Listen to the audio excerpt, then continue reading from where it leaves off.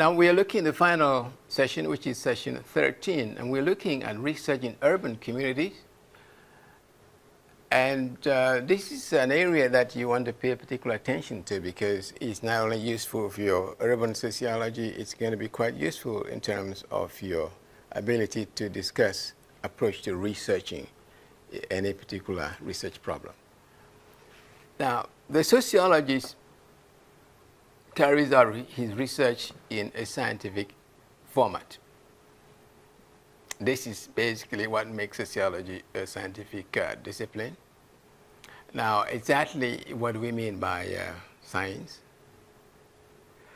Science can be defined as any body of knowledge based on reliable observations acquired through systematic procedures and organized into a system of general propositions or laws.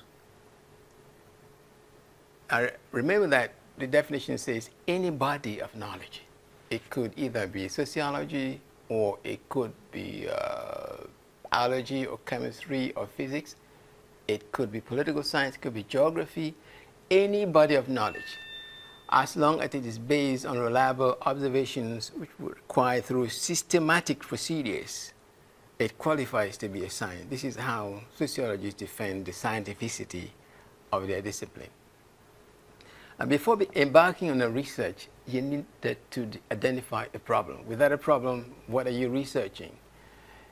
Uh, but the problem here is what constitutes a researchable problem or a social problem, if you like we have attempted a definition of uh, social problems uh, earlier in our discussion, but it does refer to a negative phenomenon which has become so widespread that it is of concern to the majority of the people in the community to the extent that they call for something to be done about it. We identify armed robbery as a typical social problem in the sense that it is negative because it leads to the forcible seizure of your legitimately acquired property. It is uh, widespread. We know that already. And of course, a lot of people are concerned about armed robbery and they're calling on the authorities to please try and do something about it. This is a typical social problem that we want to look at in this discussion. Now, when you have a problem, the very first thing you want to do as a beginning of the scientific method is to have a theory. Now, a theory is simply a general proposition which has the capacity of explaining and predicting behavior. There are other definitions which you will find in the detailed discussions that uh, we provided in the slides. Now, you are looking at armed robbery and you want to find out which theory could explain armed robbery, and that is going to become your theoretical perspective. And what do you think yourself? Well, we reference to the theory that we have discussed much earlier. Which of these theories do you think is, is applicable? I would suggest that the theory of anomie suggested by uh, Robert Merton would be applicable because he suggested that in every society you have two categories of significant things. You have this Cultural structure, which refers to the cultural goals or the things worth striving for. And then you have the social structure, which refers to the legitimate means to achieve the cultural goals. This is the dichotomy between the goals and the means. And if anomie does occur in a situation where there is a disparity between the goals and the means, in the sense that some people in the society by reason of the uh, position in the social structure, do not have easy access to the legitimate means, then we have a situation of anomie, and there will be all kinds of adaptation to the situation, including conformists who obey the rules, accept the goals, and accept the legitimate means as well. Additionally, we have innovators, which are of quite uh, significant for us in this discussion because armed robbers are innovators. They innovate armed robbery as a means of achieving their cultural goals. They don't have access to the legitimate means, so they innovate illegal means of robbery. Those who smuggle smuggling is an innovation to acquire money illegally to be able to achieve the cultural goals. Now, what are those cultural goals? The things we're striving for? We can identify them as political power, salvation. You want to go to heaven, you, you need some money. If you want to gain political power, you need a lot of money to organize your uh, uh, campaigns to be able to get elected. Salvation, going to church, you need to pay your tithes, you need to give offering, etc., etc., etc., and then you need it to become rich as well as one of the goals. To become wealthy, have material possessions, you want to build a house, you want to get a beautiful car, all of those are material possessions, which is getting rich or getting wealthy as one of the goals. Then you want to get married. Everyone, most people want to get married. Then you want to have higher education. And then, of course, you want to pay adequately for treatment so that you will be healthy. All of these are cultural goals, but they require, before you can achieve them, they require that you use legitimate money, money you acquire through salaries paid to you for having worked. That is legal money, which you can use to pay for your school fees, pay for your rent, etc. So we're saying that there's a situation in which some people, like the armed robbers, they don't have access to education, don't have access to jobs. So how do they survive? Their survival is through armed robbery, seizing by force monies and other property from people who legitimately acquire those properties in order to enable them to survive. But it is an illegal adaptation. So that theory is capable of helping you develop a perspective on armed robbery. So we assume that you have a problem, which is armed robbery, and you have a theory, which is the uh, Robert Merton's theory of anomie. Now, the next stage basically is the logical deduction stage. Logical deduction requires that you should go into the field and talk to people.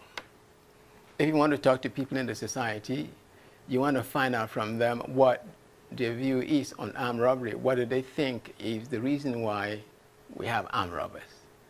And they will tell you their reasons. But the best bet is to go to talk to the armed robbers themselves. And where do you get them? You go to the prisons where they have been kept, where they're being kept locked up. So you have easy access to them and you have to select a very small, maybe about 20 of them. And you ask them, why did you get into armed robbery? And they probably tell you that I didn't have any job to do. So unemployment becomes a reason that you would have gotten as a basis for the formulation of hypothesis in the next stage. Another one, maybe five of them tell you they were unemployed. Another four might tell you that they didn't have enough income from the job that they were doing. So they felt compelled to have to supplement their income through armed robbery. So inadequate income becomes another basis for the formulation of hypotheses. Others might tell you that they were compelled by their friends who are already into armed robbery. That is peer pressure, which you want to investigate as well. And then others may tell you that uh, they were not properly educated or inadequate education, little or no education, which could be the reason why they did not have jobs in the first place, which led them to be unemployed, and therefore they went into armed robbery. So you get these reasons from your logical deduction, and the next stage is to formulate hypotheses. Now, hypotheses, they are critical in any research they lie at the heart of the research because they determine the kind of questions you're going to be asking your respondents in the field. But what are hypotheses? A lot of students do not really understand what a hypothesis is, so they don't formulate them properly. A hypothesis definitionally refers to a general proposition which expresses a relationship between two variables we have the dependent and independent variables. There must be, your hypothesis should be formulated in a way that suggests that there is a relationship between the two variables. For example, if you said the higher the level of unemployment, the greater the predisposition to armed robbery. That would be a good hypothesis. You're saying that the higher the level of unemployment, the greater is the predisposition to get into armed robbery. So we assume that if you lower the level of unemployment, the level of the predisposition to armed robbery would equally lower because more people are now being employed, so lesser people would be predisposed to armed robbery. It's a clear relationship between those two variables.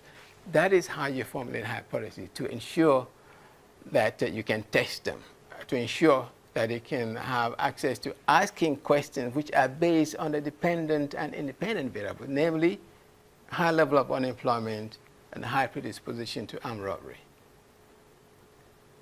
Or the greater the peer pressure, the higher the predisposition to get into armed robbery as well. If your friends, a lot of your friends, or what your friend tells you most of the time is that armed robbery is good, you get a lot of money out of it, you're most likely to want to get into armed robbery. So there again, if the pressure is great, then your temptation to get into the action would equally be great. There's a relationship there. So this is how you formulate hypotheses to uh, ensure that they are testable and measurable based on the kind of questions you're going to be asking in the field. The next stage, now remember that we are proceeding systematically now. We had uh, a research problem, we had a theory which served as a perspective, then we went to the field to do what is called a pilot survey. That is the uh, logical deduction stage. We asked a number of armed robbers what were the reasons why they got into armed robbery. And then we came to the formulation of hypothesis. We are proceeding systematically. This is what makes any study scientific. The next stage is the definition of key concepts. Now, this is quite important because you do not want anyone reading your, uh, your work to misconstrue your findings. For example, if you say the lower the income, what exactly do you mean, the, you, the researcher? What do you mean by low income? If you define that, you may say, for example, that anyone earning be, uh, below 500 Ghana cedis is on a low income. If you do not define it the way you want it to be understood, any reader of your findings might place a wrong meaning or might get a wrong meaning from your findings because he's going to be defining low income as anyone who earns below 1,000 cedis. So you tell him exactly what you mean by the key concepts. What do you mean by armed robbery? What do you mean by unemployment? What do you mean by peer pressure? All of those key concepts should be defined so that you preempt the possibility that someone reading your work is not going to put the wrong conceptualizations to determine the validity of your work. After you're done with definition of key concepts, you're kind of ready to come into the field. And this is where you are getting ready to go into the observation and collection of data. Now, but before you start a collection of data, there are a couple of things that you need to do. Firstly, who are you going to talk to? You have the armed robbers there how many of them are you going to talk to? Uh, assuming that in the whole of Ghana we have about maybe 8,000 armed robbers in, in the prisons, are you going to be talking to all the 8,000? Maybe not. This is where you do something known as sampling. But your sample has to be representative of the total population. So according to the statistical rules, you may decide to take about 10 percent which means that you're going to take about 400 of the 8,000. And that 400, the information you're getting from them can be generalized to the entire population of 8,000 armed robbers. That is how you minimize and manage your research so that you can accommodate it in terms of the cost and the time you're going to be spending by dwelling on uh, study samples which are representative of the total population. But there's one caveat there. You know?